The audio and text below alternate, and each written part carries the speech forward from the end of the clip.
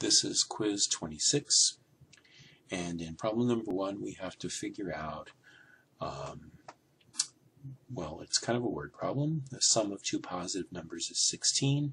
What's the smallest possible value of the sum of the squares? And show your work. Okay, so we have two positive numbers that add together to give you 16. The sum of two positive numbers is 16. So what we can do is we can say let x be one of them and y be the other one. So let x and y be the two positive numbers.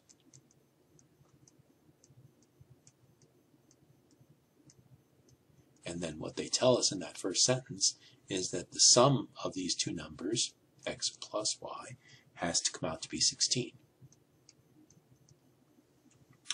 Okay, but then they say, what's the smallest possible value of the sum of their squares? well, this is where we get the clue or the information about what the problem is really asking. So this is a max-min problem, an optimization problem. In particular, it's a minimization problem. So we want to minimize something.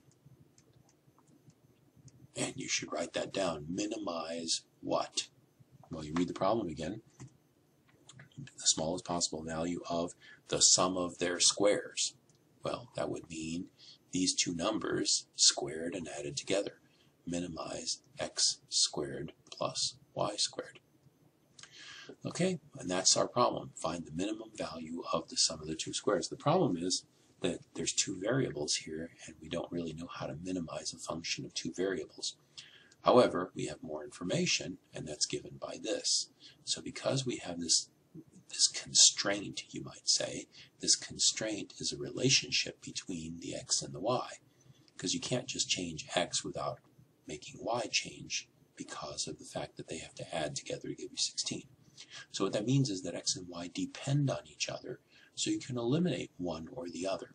So let's eliminate y. So from this equation, we can say that y must be equal to 16 minus x, and so what we're really trying to minimize is x squared plus 16 minus x squared. okay, we also need to note that these are positive numbers, and so what that means is that there will be endpoints. x must be greater than or equal to 0, and y must be greater than or equal to 0. So it's good to note that, because those might end up being the critical numbers that we're looking for. Okay, but in this case, uh, that may not happen. We're supposed to minimize this. So this is the sum of the squares.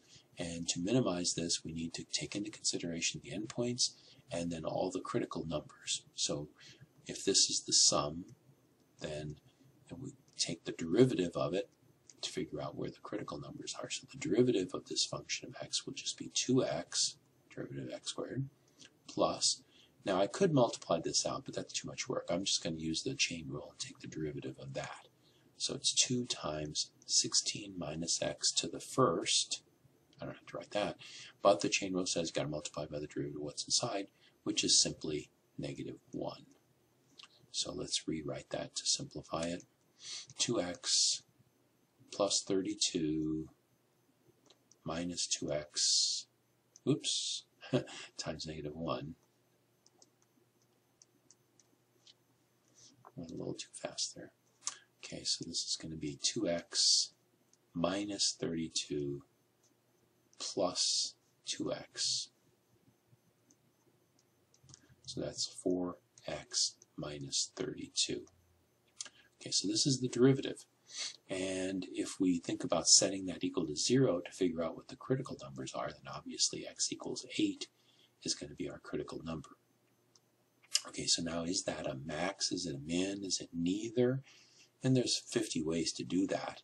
If we analyze 4x minus 32, we could figure out pretty quickly that when x is bigger than 8, this quantity is positive. When x is less than 8, this quantity is negative. So that means for bigger than 8, we have positive. For less than 8, we have negative. So this number, x equal to 8, is going to be a min. Another way we could do this is we could take the second derivative. The second derivative is the derivative of this guy, which would just be 4. So that tells us that the function that we're dealing with is concave up. So it's going to have a critical point only at the base of the um, curve. So this is going to have to be a min. And in fact, if you look at the function, which is s, it's a quadratic, and so it's definitely going to be looking like a parabola.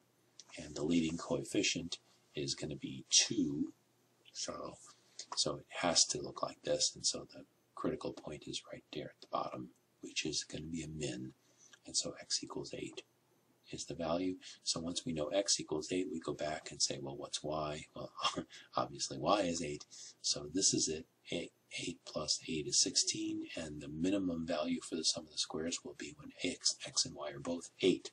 So that's 64 and 64 for 128. Let's just try another value just for fun. If you just change this a little bit and made x 9, that would mean that y would have to be 7.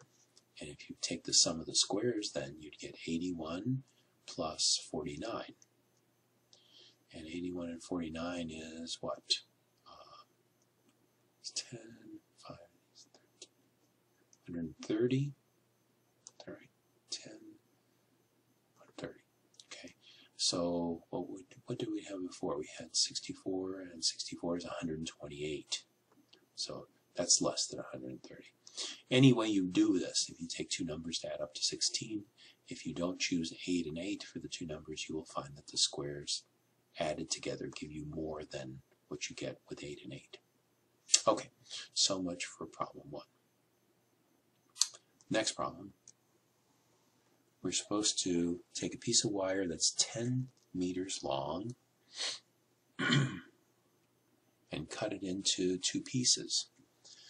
So let's say that we cut it right here, and I'll say that that's x from here to there. And it's 10 meters long, so if it's 10 from here to there, then this piece over here would have to be 10 minus x, because they have to add together to give you a total of 10. Now, there are other ways of doing this, and, and in class, some of you came up with other approaches that, that worked, and that's fine. Um, so you're going to take one piece and bend it into a square and the other into an equilateral triangle. So I'm going to take this piece and bend it into a square. So that means that each of the sides is the same, and each of the sides would be x divided by 4, because I've got four of them over here. And then this piece gets bent into an equilateral triangle. So each piece there is going to be 10 minus x over 3 in length. And I've got three of them. Okay, how should the wire be cut so that the total area enclosed is a maximum? So there's our problem, is to maximize total area. And the total area will be the area of this square plus the area of this triangle. So part of that's easy. The area of the square is length times width, so that's the same thing, x over 4 times x over 4, or x squared over 16, plus the area of this triangle, which is, of course, 1 half base times height. Part of that's easy. The base is 10 minus x over 3. But what's the height? We have to figure out what that is. Well, we need to know something about this triangle in order to figure that out. And the fact is that if this is an equilateral triangle, then all the angles are also equal to each other, which means that they have to, being, having to add up to 180 means that each of them must be 60, because 3 times 60 is 180. So if these are three equal angles, and they're 60, and this height here is perpendicular, then that makes this little guy in here a 30-60 triangle. And we know about all about 30-60 triangles. We know that the side opposite the 30 is going to be half the hypotenuse. Well, that's easy to see, half of this. But the height, this guy, the long side, the side opposite the 60, is going to be square root of 3 over 2 times the hypotenuse. So it tells us that h is square root of 3 over 2 times 10 minus x over 3. So that allows us to plug that in here. And so our total area is going to be x squared over 16 plus 1 half times 10 minus x over 3 times square root of 3 over 2 times 10 minus x over 3.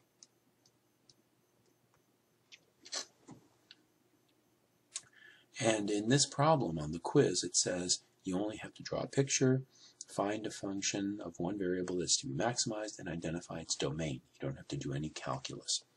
So the next step would be calculus, but let's go ahead. We never did the domain for this function. So how big can x get and how small can x get? Well, that's pretty easy. The smallest that x could get is 0, so it's got to be bigger than or equal to 0. And making x equal to 0 means that you don't build a square at all. And you could make x as big as 10, which would mean that you're building the whole thing as a square, and then there's no triangle. Okay, But this is our domain. This function is kind of nasty, but, well, it looks kind of nasty, but it really isn't. This is just a quadratic and we could multiply all this out and figure out what it is. Um, but that's not really a, a good thing to do right now because that wasn't the question. So we can leave it at that. And that's it really for quiz 26.